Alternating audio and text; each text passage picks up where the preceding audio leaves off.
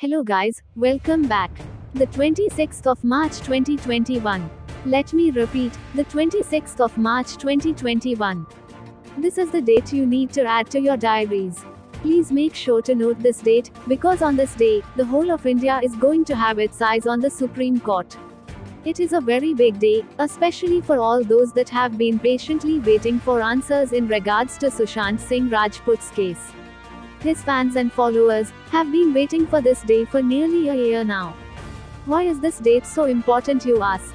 Well, if you remember, Parambir Singh, who is an ex police commissioner of Mumbai, who was recently moved from office and transferred to head the Home Guards team, has filed a petition in the Supreme Court. In his petition, he has challenged his transfer, stating that it is illegal and not done properly. Parambir Singh has requested for his transfer to be reverted, and provided reasons for this. He has also made some very serious allegations against Home Minister Anil Deshmukh, which I have spoke about in my previous videos. Although Anil Deshmukh denies the allegations made against him, Parambir Singh has gone as far as to requesting a CBI probe against the Home Minister. So overall, through this petition, Parambir Singh has made two requests to the Supreme Court. The first being an investigation into the allegations linked to extortion by Anil Deshmukh and that there should be a CBI team investigating this. And the second is in reference to his transfer, which he claims is illegal and should not go ahead. The Supreme Court will be hearing Parambir Singh's petition on the 26th of March. If we think about this, Sushant Singh Rajput's case is already with the CBI who have been investigating his death mystery for over seven months now.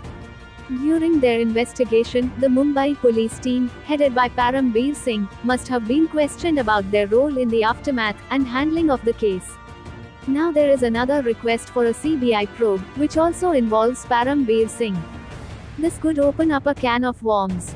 There may be things that come out in this investigation which could lead to further clues in solving Sushant Singh Rajput's case. Any loopholes that were outstanding could also be resolved by doing this. However, when fans did request for a CBI probe for Sushant Singh Rajput, Parambir Singh at the time didn't appear to be very cooperative. Now that he is in quite a bit of trouble, and he is getting a bad reputation throughout India, he is relying on the same team to help him out. Do you think they should cooperate with him now? Maybe Parambir Singh will spill the beans soon on what happened with the Sushant Singh Rajput case, as it looks like he is being made a scapegoat, and someone has trapped him. Whatever it is, the outcome is looking very positive for Sushant Singh Rajput fans. This is why the 26th of March is very important. There is a big feud within the police team, everyone is blaming each other, and if the CBI do get involved, then there is a lot to be unleashed. A lot of dirty secrets and a lot of big names that will shock us. So let's see what the Supreme Court decides on the 26th of March. Until then take care. If you liked this video, please give it a thumbs up, and subscribe to my channel.